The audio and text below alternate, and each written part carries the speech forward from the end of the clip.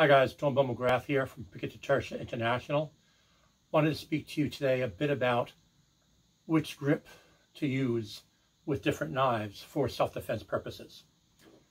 Different knives require different grips to use effectively.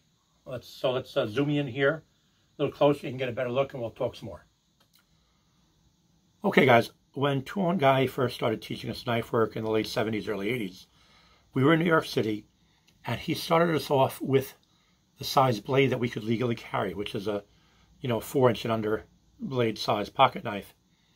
Uh, you know, he came from uh, tradition where, you know, in the Philippines, the pocket knife would be a balisong, uh, but the same basic idea. And he taught us to hold it ice pick grip edge in.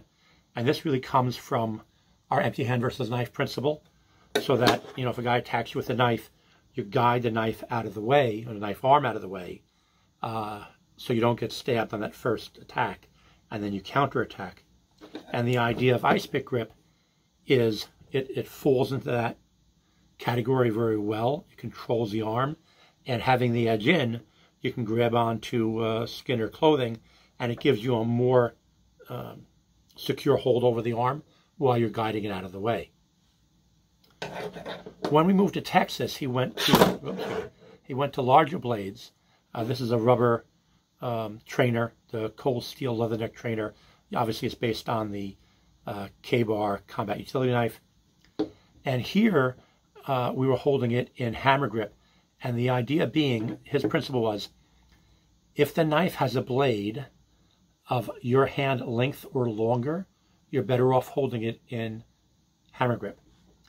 If the knife overall has a a length across your hand, thumb to pinky, then you're probably better off holding an ice pick grip to get more catching power, let's say, from that blade, since you're not going to use it as a slicer. You can use this in fencer's grip or hammer grip, the K-bar style blade. Uh, there are pros and cons of each. Hammer grip gives you a more secure grip you have a better hand wrap around that handle. Uh, your thrusts need to be circular in motion with this, the Tirsia 5, 8, and 9. Um, if you go to saber grip or, or fencer's grip, uh, I usually call it, you have the option of a straight thrust, but you can see there's a gap here. That's pretty easy to get disarmed. You could do knife sparring with, uh, let's we used to do wooden knives back in those days We hit something solid like the guy's mask, and it's pretty easy to get disarmed, to self-disarm yourself. Translate that into the street, you hit somebody in the head, the cranium, or um, steel buck, buck, buckle, or maybe his cell phone in his pocket, and your wrist angle's a little off, you can disarm yourself. So the pros and cons to each of these. You look at something like this um, Ontario SP10 Marine Raider Bowie. It's got a quarter inch stock, a pound and a half in weight. Uh, you're only going to use this, in my opinion, properly in hammer grip.